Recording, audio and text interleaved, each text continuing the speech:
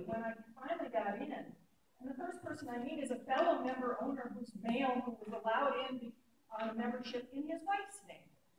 So this was specifically just aimed at me because I'm female. That's outrageous. It shouldn't happen ever. And if you look at the bylaws, it says something about a membership is a household, and that either any member of the household can vote that membership. So you shouldn't be barring people from speaking depending on who's voting the membership. And I would like the board to address that. At the next meeting. Actually, don't address it right now. Uh, The bylaws don't say what you said they say.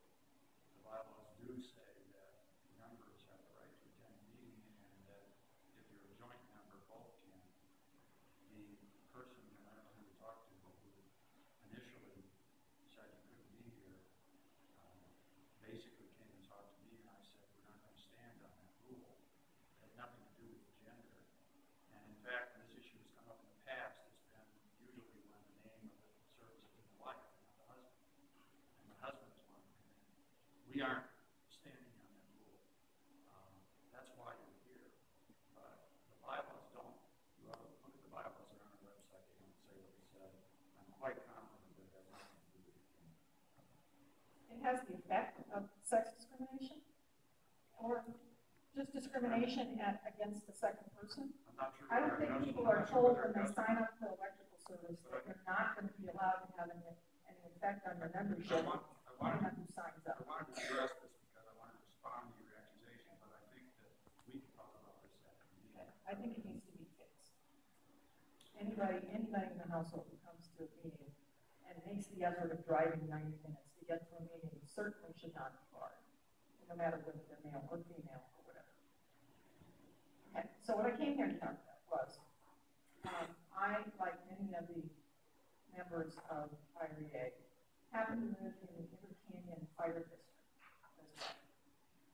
We had the lovely experience of discovering that our volunteer fire chief stole six hundred thousand dollars from a fire department with an annual budget of nine hundred thousand dollars.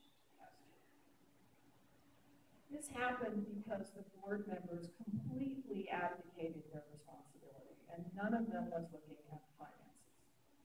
If any of them had read even their audits for three years running, they would have seen they were running out of money, and they didn't figure out they'd lost two-thirds of the year's budget until they completely ran out of cash to run the fire district.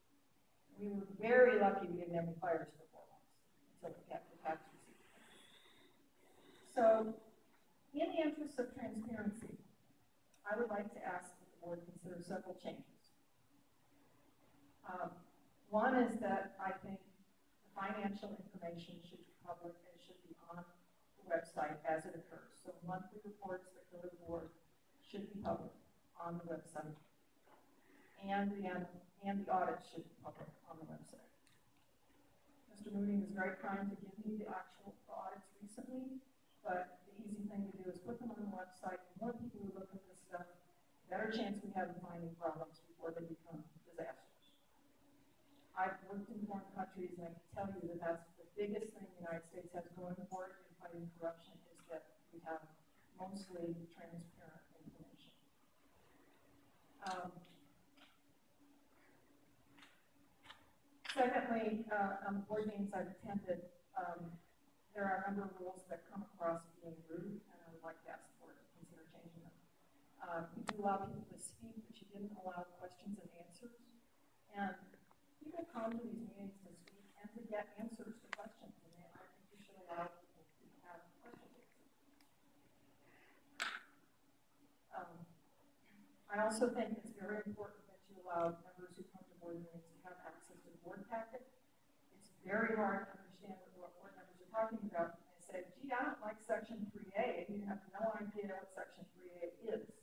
There may be specific things in the board packet you're going to be discussing in executive session, you can pull that out into a separate section of the board packet.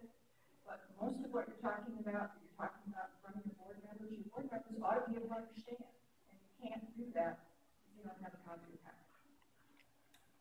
So I'd like to ask you to consider changing that. Uh, and finally, um, I'd just like to echo what the previous speaker said, um, about the many, many changes enveloping in the industry right now. as elaborated by Mr. Mooney in an excellent speech. Um, if the price of renewables are dropping rapidly, that means the value of Comanche is changing, and I think the board should make a consistent annual evaluation of what's the value of Comanche.